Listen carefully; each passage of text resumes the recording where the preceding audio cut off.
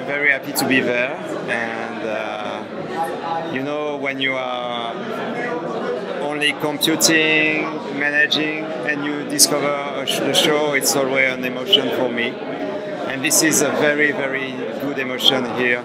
Uh, I like the I like the place. I like the I like to go to um, room by room, and uh, I'm like a child, discover a new house.